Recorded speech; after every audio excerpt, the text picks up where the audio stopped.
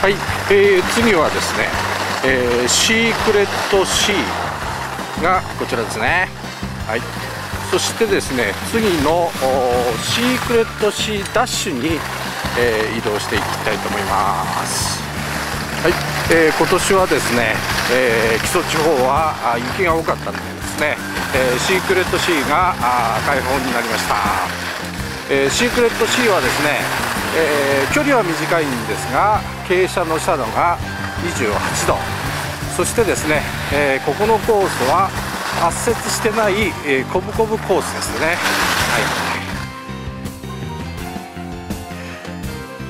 い、ちょうどですね乗鞍山が真正面に見えますね、えー、この左側に、えー、御嶽山が見えるんですけれども、えー、このシークレットシーダッシュはですね、えー、最初のところがですねちょっと緩くなってますね。そしてですね、え、その後ですねちょっと下がりましてそして、え、シークレット B に、え、接続していきます。右の方から降りてくるのが、えシークレット C ですね、えこちらがシークレット C の奥の C ダッシュです、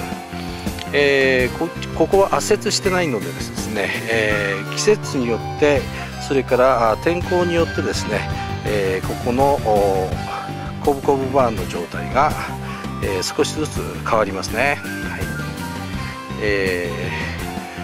ー、大きく雪が降った後にですね、えー、このコースを滑ってみてください。